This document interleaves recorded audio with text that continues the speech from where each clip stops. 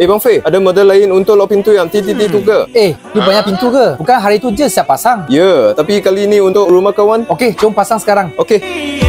Hello kawan-kawan, hari ini Faye nak pasang lagi Philips Digital Smart Lock dengan Sifu. Semua pemasangan ini free dan disahkan oleh Philips. Sebelum pasang, kita kena pastikan ruang antara Mortis dan Striker adalah lebih daripada 5mm. Model yang kita guna ini adalah Philips EasyKey 702E. Sekarang kita keluarkan handle dan Mortis dulu. Kita buat marking untuk lubang. Kena make sure ukur cun-cun barulah cantik.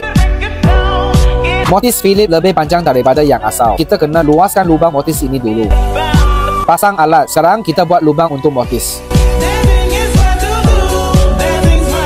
Okey, lubang mortis dah siap. Kita drill lubang untuk smart lock. Sekarang kita pasang mortis.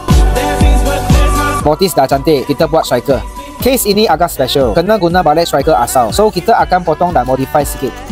Sekarang, kita pasang smart lock bahagian luar dulu. Bahagian dalam, Step yang paling susah, sapu lantai. Smart lock ini ada empat cara untuk buka. Fingerprint, pin code, RFID card dan kunci kecemasan. Ia ada temporary password. Dari dalam, menu unlock. Satu lagi infrared unlock. Okey, siap.